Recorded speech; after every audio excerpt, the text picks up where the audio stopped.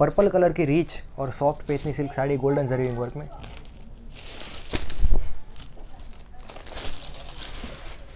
ये है golden zari weaving rich, peacock designer pallu, beautiful tassel work के साथ।